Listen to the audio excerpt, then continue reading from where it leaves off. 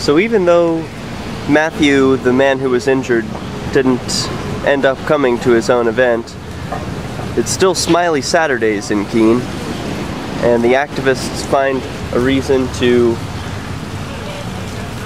draw smileys. I guess it brightens everyone's day.